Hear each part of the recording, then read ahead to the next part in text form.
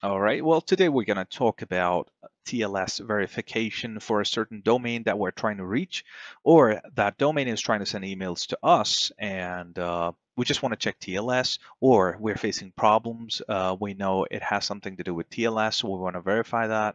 Or you were checking the mail logs and you got some TLS errors. So you want to verify if TLS, if if if the TLS uh, between uh, your domain and your host and their host is uh, working fine or not, or if they have TLS working on them or, or not. So you can verify it using a, a CLI command from the ESA. But before that, I would just like to tell you one thing a couple of things about the TLS. Now, if, if you want to use TLS, you got to have X.509 certificate on your ESA.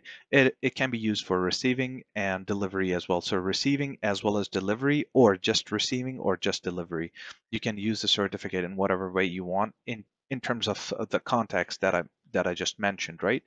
Now, apart from this, you want to check the list of certificates. You can check from the CLI or the GUI as well.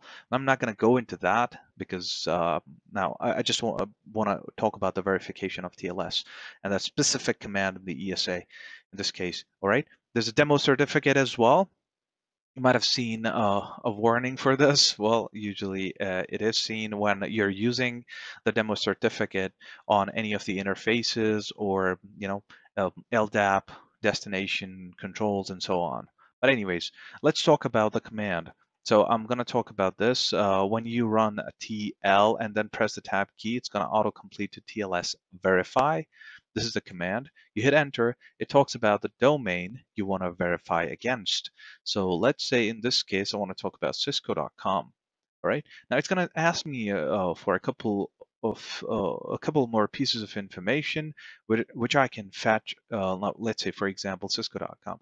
Now it's asking me for the domain, uh, for the destination host. So this was the domain, now this is the destination host. The destination host hosts this domain that I'm talking about. So here I have to mention the destination hosts that uh, hosts cisco.com. If I don't know if I don't know about that, what I can do is I can do an NS lookup and I can do a cisco.com.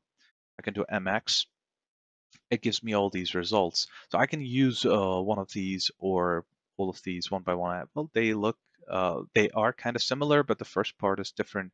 So this is the host, right?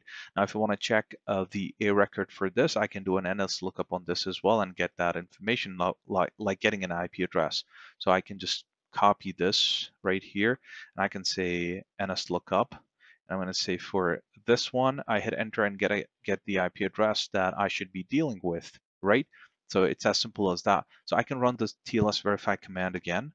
And now I'm going to say cisco.com. And let's say I want to check the destination host. In this case, I'm going to give this IP address, right? Okay, so I just paste that IP address here and it also talks about appending the port if you're not using 25 let's say you're using some other port in that case you'll have to append the port after the colon so let's say you say 587 right after this with a colon, right? All right, you hit enter. That's pretty much it. It tells you about the verification and whatnot. And you see, if you uh, if it's working fine and everything's good, it tells TLS connection to this succeeded. The TLS uh, certificate has been verified as well. I don't know why I'm. Why do I always go from bottom to top? Anyways, so yeah, it's quite clear, right? You see right there. So TLS successfully connected to so-and-so and TLS verification completed. Like literally that's it. You can run it for every other domain. And this is an extremely, um, you know, useful command when it comes to uh, resolving issues related to TLS. It gives you tons of information here as well. TLS connection established. The protocol that is being used, well, sometimes you see that you're using TLS 1.1 uh, or the other side does not support so-and-so. and uh, you get that information here, right? And the cipher as well. Well, um, you can do a PCAP as well in case you don't get anything from here. I've discussed PCAPs in a separate video before. Um, you can take a look at that and uh, yeah. Well, do let me know in the comment section if uh, if in case uh, you want me to talk about any other topics apart from this one.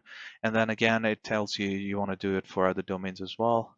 No, hit enter, that's it. All right, I hope this was helpful. Thank you so much for your time. You guys have a great day ahead and goodbye.